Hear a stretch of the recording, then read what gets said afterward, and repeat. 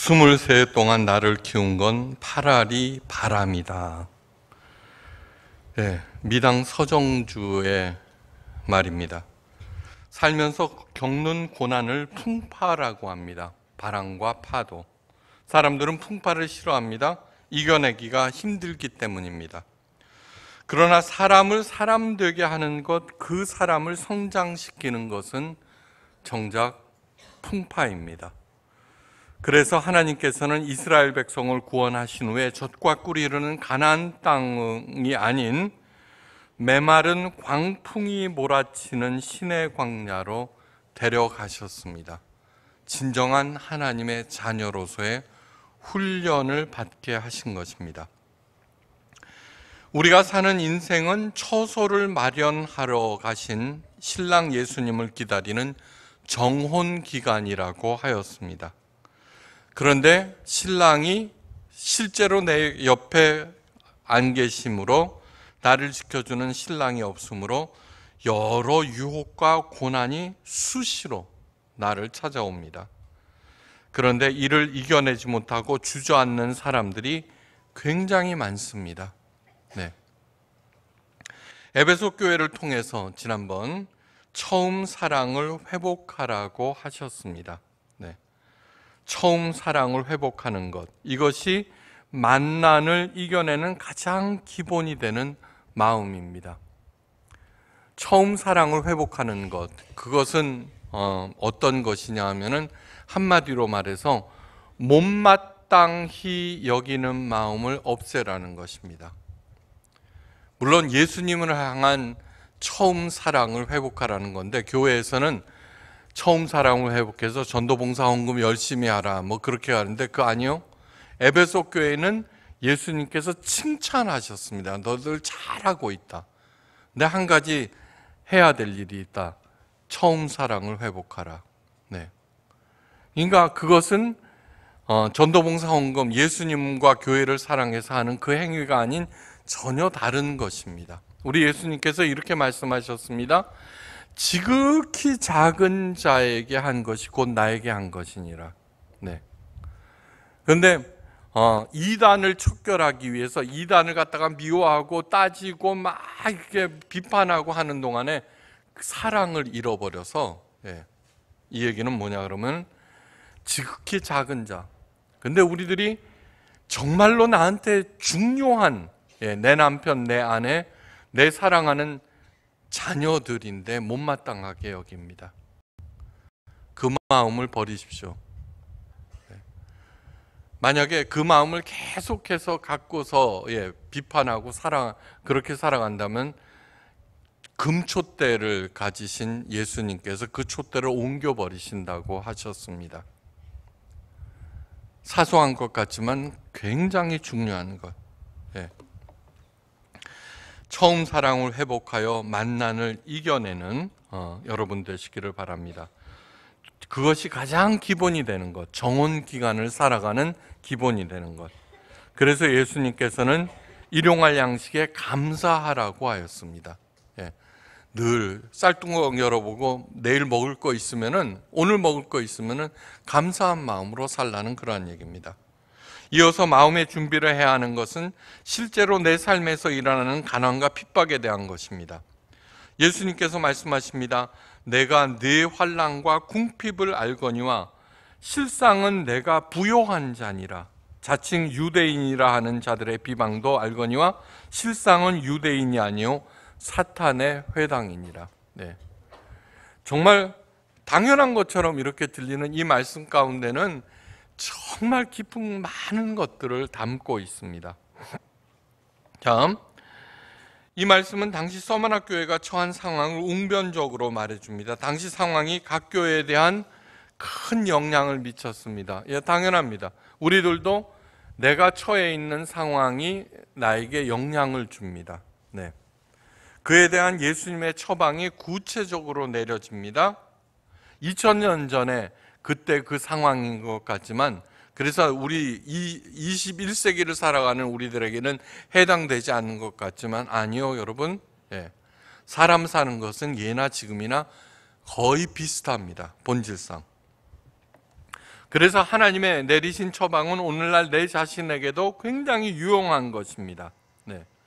서머나 교회의 상황을 알기 위해서는 당시 서머나로 돌아가 봅시다. 서머나는 현재 터키 이즈미르로 남아 있는 유일한 도시입니다. 성경에 등장하는 도시들이 이제 폐허만 남은 곳이 굉장히 많지만 서머나는 틀립니다. AD 26년에 세워진 티베리우스 황제 신전을 필두로 하드리안 황제, 칼라, 카라칼라 황제를 위한 신전이 이 서머나에 연이어 세워졌습니다. 네. 황제 로마 황제의 신전이 어느 도시마다 있는 것은 아닙니다. 네.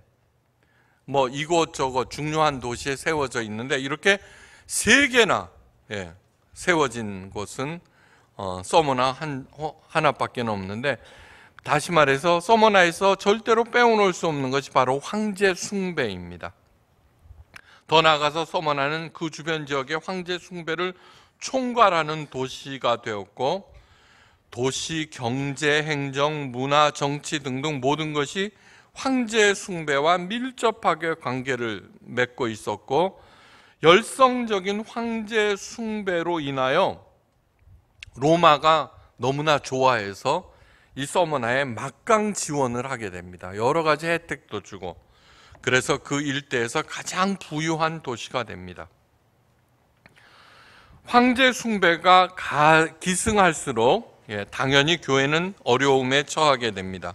직접적인 박해뿐만 아니라 일상생활 모든 영역에서 특별히 경제에서 불이익을 치명적으로 받게 됩니다. 서머나에서 사업을 하기 위해서는 반드시 황제를 신으로 받드는 서약을 해야 하는데 그리스도인들은 그렇게 할 수가 없었습니다. 또한 그리스도인들에게는 주민세 등 훨씬 더 많은 세금을 어, 추징했고 또 하나 당시는 은행이 없었습니다. 은행 업무는 뭐 어디에서 하느냐면 신전에서 행합니다. 신전에 돈이 가장 많기 때문입니다. 더더군다나 그때는 각 신전마다 성창들이 있죠. 이런저런 이유로 많은 사람들이 찾아가서 헌금을 내고 또 그 재물을 바치고 그래서 신전은 언제나 돈이 풍성하게 넘칩니다. 예, 그걸로 이제 은행 업무를 합니다. 근데 그리스도인들은 거기에 가서 돈을 빌릴 수가 없습니다. 예. 양심상으로도 그렇고 또한 체제상으로도 빌려주질 않습니다. 그러니까 당연히 가난해질 수밖에 없습니다. 그 강도는 점점 점점 심해져서 정신질환을 앓고 있던 도미티안 황제 때 극에 달합니다. 이 도미티안 황제 이야기가 그 검투사 영화 최근에 나온 어, 몇년 전에 나왔죠. 거기에서 도미티안 황제 까만 옷 입고 예, 하는 그 사람이 바로 도미티안 황제입니다. 많은 순교자들이 생겨나는데 그 핍박의 큰 원인 중에 하나가 유대인들의 이간입니다. 유대인들은 바벨론 포로 이후 지중해를 중심으로 한 전 세계에 흩어져 살고 있습니다. 디아스포라입니다. 이들은 그때부터 지배 계급들과 좋은 관계를 맺으면서 각종 사업에 종사하여 많은 부를 축적하였습니다. 이러한 태도는 어떤 것이에요? 예, 이사야서에 나와 있죠. 예, 너희는 그곳에서 그 사람들을 위하여서 기도하고 예, 기도하고 그들을 위하여서 열심히 살라고 그렇게 얘기함으로써 지배 계급과의 그 좋은 관계를 유지하는 것을 별 죄책감을 갖지 않았습니다. 여호와 하나님을 유일신으로 믿고 유대교로 신봉하지만 대대로 지배 계급과 좋은 관계를 맺고 있던 유대인들에게 새로 등장한 기독교는 눈의 가시였습니다.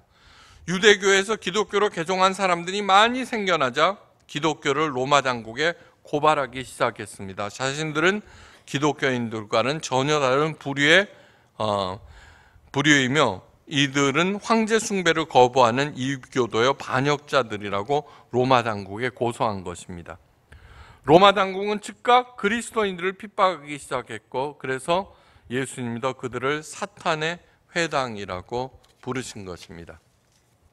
자, 이 사탄의 회당이라고 부른 데는 어, 또 다른 의미가 있습니다. 우리들은 살아가면서 여러 가지 구설수에 자기 잘못도 아닌데 남의 비방을 받기도 하고 막 그러한 일들, 특별히 어, SNS가 발달된 이 시대에는 그런 일들을 많이 당합니다.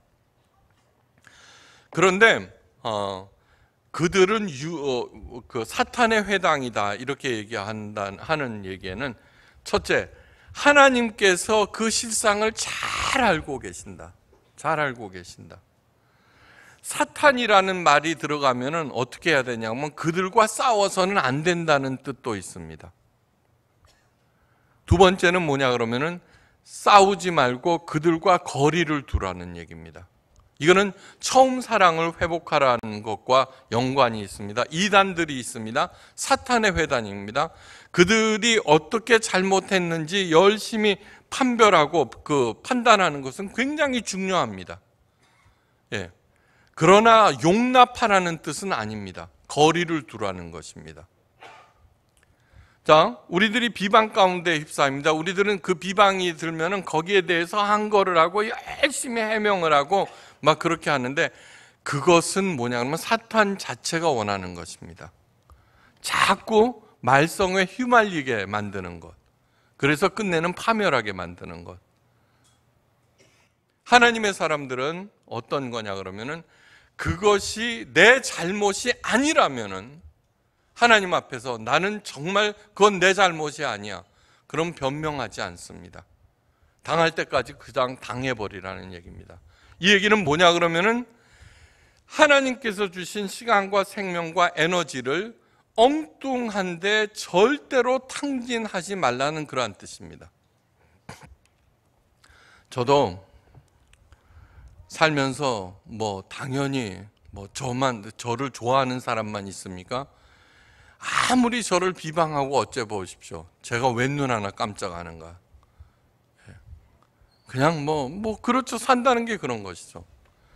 그러니까 여기에서 이 말씀은 그들은 유대인이 아니라 사탄의 회당이다. 그러한 말씀을 통해서 정말 첫째는 하나님 앞에서 떳떳한 일만 하기를 바랍니다. 예. 그래서 그럼에도 불구하고 여러 가지 말썽에 휘둘립니다. 그러면 그 말썽에 내 시간과 에너지와 그거를 탕진하지 마시고 초연하시기 바랍니다. 시간이 되면서 시간이 되면서 네. 하나님께서 해결해 주십니다. 네. 굉장히 중요한 얘기입니다. 그런데 요즘 교회가 시끄러운 이유가 뭐냐 그러면 사회의 지탄을 받는 이유가 자기 마음에 안 들면 못마땅하면 사사건건 반드시 얘기한다는 것. 반드시. 자기한테 피해를 주지 않았음에도 그걸 반드시 걸고 넘어가는 것. 절대로 세상을 이끌 수 없습니다. 그러지 마시기를 바랍니다. 네. 아멘을 안 하네.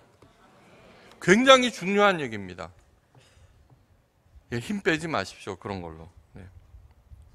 핍박은 실제적인 삶의 궁핍과 사회생활에서 당하는 구체적인 불이익과 고난으로 그리스도의 삶을 무섭게 압박하였습니다. 당시나 지금이나 돈은 경제적인 면에서 영향을 미치는 것이 아닙니다. 경제적인 면만. 많은 사람들에게 돈은 정신과 영혼까지도 피폐하게 만드는 신적인 존재입니다. 만몬신. 그래서 돈으로 인해서 스스로 목숨까지 버리는 일을 흔히 저지릅니다.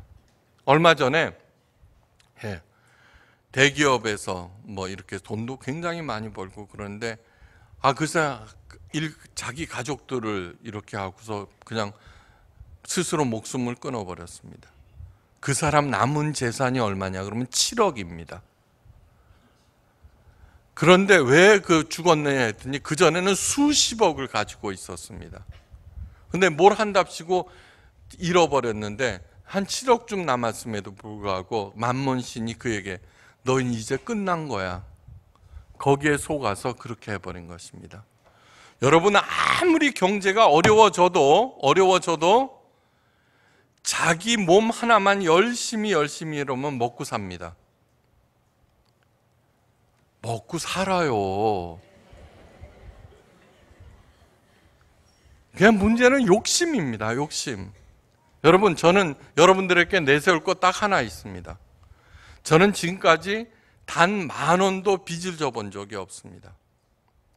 한 달에 30을 벌었으면 30만 원으로 어떻게든지 살았습니다. 어떻게든지 살았습니다. 예. 가끔 얘기하죠. 2만 5천 원짜리 made in China 구두. 예. 세 켤레로 지금 12년째 신고 있는데 몇 달 전에 구두 한 켤레가 찢어져 버렸어요. 그래서 세 번째 다시 새 거를 살 것인가 말 것인가 아직도 고민 중이에요. 절대로 허세를 부리지 마십시오. 예, 이런 양복 이런 것들 입고 있는 건 전부 다 10년 이상 된 것들입니다.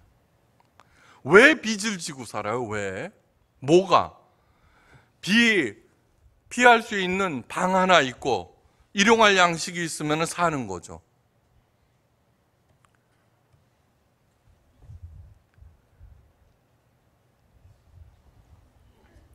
얼마나 허접한 일에 자기 이 귀한 시간과 생명과 에너지를 탕진해 버리는지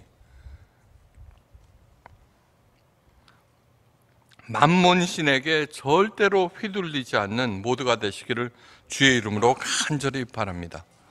자, 오늘 하는 아, 예수님께서 뭐라 그러냐면 사실은 내가 가장 부요한 자니라 이렇게 말씀하십니다. 예수님께서는 서문학 교회가 처한 상황을 내 환란과 내 궁핍을 잘 알고 알지만 사실은 내가 부요한 자야. 라고 말씀하시는 뜻은 무엇이냐면 자 여러분들 여기에 100억이 있습니다. 한 천억이라도 좋고 1조 원이라도 좋아요. 여기에 예수님이 있습니다. 어느 것 택하시겠습니까? 예. 물론 여기에 마음이 갑니다. 안, 눈이 돌아갑니다. 그때 꼭 눈을 깔로 합쳐서 하죠. 네. 그렇지만 이것이 최후의 결단이다. 마지막 그때 예수님을 택하면은 부요한 사람입니다. 무슨 뜻이냐 하면은 1조 원을 마다 않고 예수님을 택하는 사람은 1조 원보다도 더 많이 가진 부요한 사람이라는 뜻입니다. 근데 요즘은 만 원짜리 하나만 놔도 그거 먼저 쏙 가져가 버리죠. 그러면 만 원만도 못한 사람입니다. 제발 만몬신에게 휘둘리지 않는 그러므로 하나님 앞에서 하나님 앞에서 정말로 돈 횡령하고 돈 갖고 장난하고 지저분하게 하는 거 있을 수가 없습니다. 아 또 나온 김에 자랑 한번 합시다. 지난번에 다리 골절상 입었을 때도 저한테 치료비를 주대. 내가 뭘 잘했다고 치료비를 받아요. 요번에 이제 또 아프게 됐죠. 아, 목사님, 다른 교회에서는, 예? 다 치료비 줍니다. 예. 요번에 받으시죠. 아픈 게 무슨 자랑이에요? 아니, 장로님, 저를 아시면서도 또 그 말씀을 하세요. 입 아프게. 지금 어? 아파서 폐 끼치는 것만으로도 송구스러워 죽겠는데 여러분 돈 정말 만문신에게 어떤 순간에도 놀아나지 않으시기를 주의 이름으로 축원합니다. 없으면 없는 대로 있으면은 겸손하게 그렇게 살아가십시오. 진짜로. 다음 내가 내 환란과 궁핍을 알거니와 이 말씀은 있죠. 무슨 뜻이냐 하면은 하나님은 모든 것을 정확히 낱낱이 잘 알고 계신다는 뜻입니다. 하나님의 침묵은 무관심이나 외면이 절대로 아닙니다. 눈에 보이는 삶이 전부가 아닙니다. 나의 삶은 죽음 너머에 하나님 앞에서 완성됩니다. 완성. 그거를 사도 바울은 뭐냐 하면은 참으로 이 장막에 있는 우리가 짐진 것 같이 탄식하는 것은 벗고자 함이 아니요 오히려 덧입고자 함이 죽을 것이 생명의 상김바 되게 하려 함이니라 고린도후서 5장 4절입니다. 우리들은 죽음이 다 끝나는 거라고 생각합니다. 다 끝나는 거. 예, 내가 벌었던 것도 다 손을 놓고 간대요. 그래서 죽음을 다 두려워합니다. 끝난다고 생각하지만 성경에서는 아니라고 얘기합니다. 뭐예요? 이거 벗는 것이 아니라 영원히 썩지 않는 하나님의 것으로 덧입혀 주는 것이 죽음이라는 거예요. 죽음은 하나님의 가장 큰 선물이에요. 가장 큰 선물이에요. 가장 큰 선물. 죽음 너머의 것 모르고 하나님의 말씀 믿지 않으니까 맨날 벌벌벌벌 떨면서 이 육신의 것 하겠다고 돈 빌리러 댕기고 이 육신 좀 편하겠다고 놀고 쉬면서 있죠. 예. 없으면 그거 꾸루 다니고. 왜 이래요? 전도서에 잠언에서 얘기하죠. 의인의 자식은 걸식함이 없으리라. 남에게 돈을 꾸지 않는다고 얘기했습니다. 의인의 자식들. 여러분, 정말 그런 일 하지 않기를 간절히 바랍니다. 정말 10만 원 벌면 10만 원 사십시오. 10만 원으로.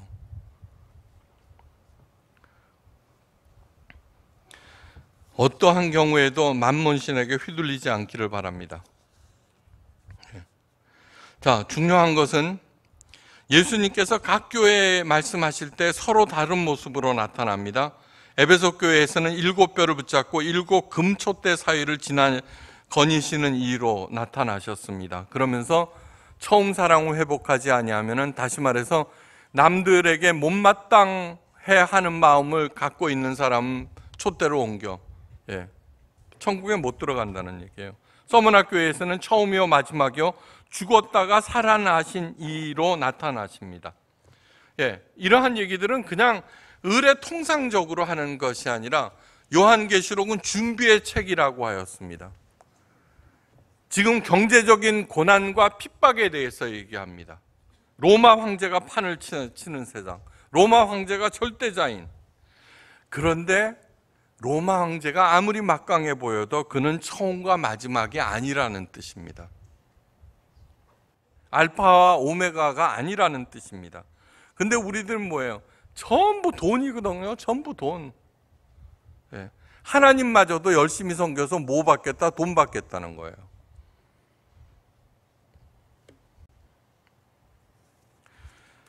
아무리 로마 황제가 막강해도 사망과 음부의 열쇠는 갖고 있지 않습니다. 처음이요 마지막이신 예수님은 죽었다가 부활하신 분이라는 사실과 연결됩니다. 자, 무슨 뜻이에요? 예, 만몬 신에게 휘둘리면서 살 것, 살지 말고 나는 죽으면 죽으리라고 하나님의 약속 믿고 살겠다는 거예요.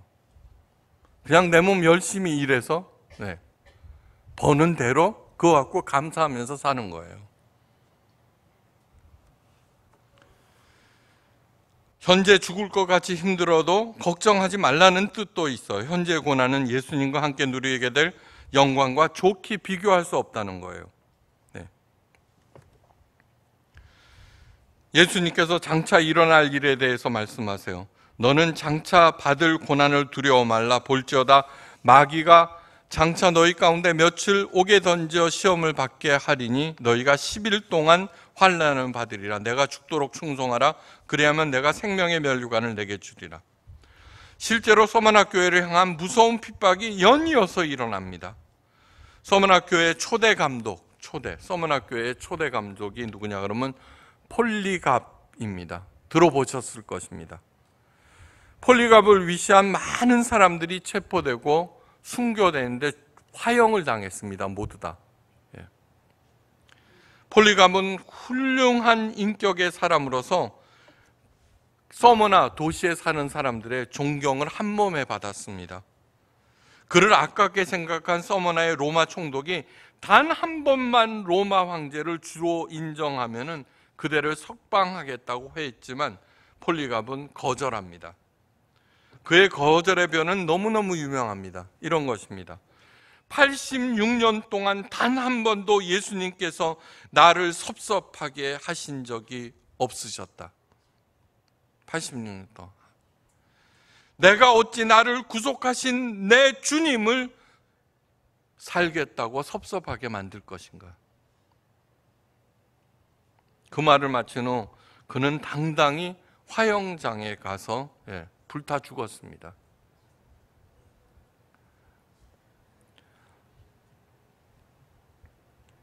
예수님은 환란 기간이 10일이라고 하였습니다. 이게 실제로 뭐 기간 뭐 이단들은 이런 숫자 갖고 장난치는데 놀지 마시기 바랍니다. 예. 실제 기간을 말하는 것이 아니라 짧은 기간을 의미하는 셈족의 관용구입니다. 예.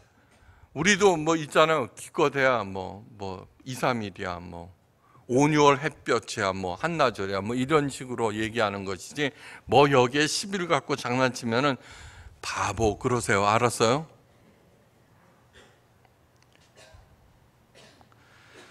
아무리 무서운 환란이라도 영원하지 않다는 것이니 참고 견뎌라는 그러한 당부입니다.